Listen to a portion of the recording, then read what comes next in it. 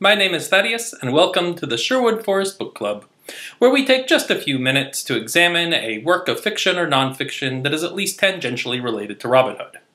This one is very directly related in that it is the novel Robin Hood by Henry Gilbert from the year 1918. Now, around the time when this book came out, there was lots of stories being published about Robin Hood, very popular figure at, in the early 20th century. But mostly what you were finding were the children's books, the adaptations of the ballads for children, lots of familiar incidences like Robin Hood pretending to be a butcher and or a potter to trick the sheriff of Nottingham, Robin meeting Little John on the bridge and them having their quarterstaff duel, having the friar carry him across the stream, just a lot of the same stories repeated in new variations again and again. This book diverges from that, and it's not really a children's book. Is it a in-depth, well thought out novel that I would recommend to most adults? Not especially. It really meanders. Um, it doesn't ever settle very directly on who Robin Hood is and his motivations. The characterization is a little bit all over the place, but it still makes an interesting read that is different from most other works. It has a heavy emphasis on the conflict that was existing between the poor people at the time versus the wealthy landowners. There's an emphasis on how downtrodden the serfs are, how much they're being taken advantage of. That notion of Robin as the champion of the people is really embraced one of the things it does that's also interesting is introduce a number of characters that you don't see other places, some of whom I really quite like.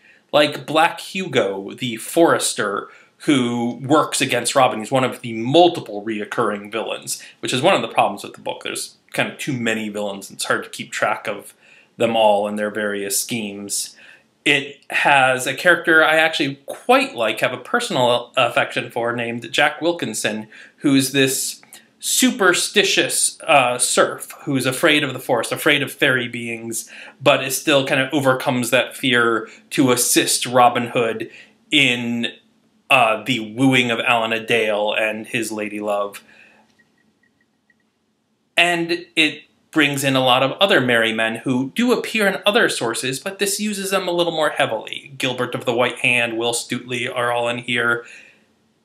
The members of the merry men that I think get the most attention in this book, though, are Ket the Trow and Hob o' the Hill, which are two fairy beings, these little elfin fellows that live in a mound.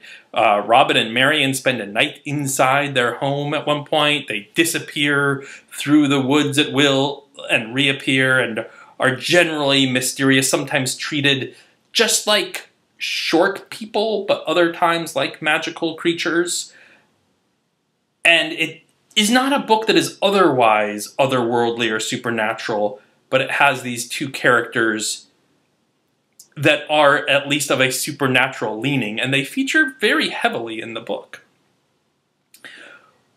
Like I said, though, it's not a great novel. It doesn't flow well. There's not a strong binding narrative arc.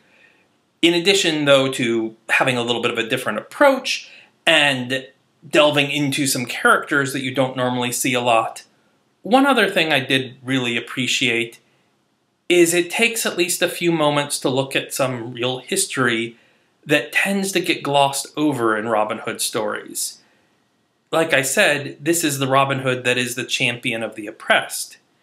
And something that's not mentioned in a lot of Robin Hood stories are things like the massacre of York that happened in 1190, which is right around the time that most Robin Hood stories are being told where over a hundred Jewish people in York were burned to death or slaughtered by a, an angry mob. It's a horrible moment of history, but one that doesn't get taught very much, and one I only first learned about by reading this book when Will Stutely finds some people that had fled from that terrible massacre and helps reunite them with their family in Nottingham. You know, this is a book that I've had since my childhood and goes back much further. It's why it's in rather poor condition, I'm afraid. And so I do appreciate those elements about uh, in regards to this book.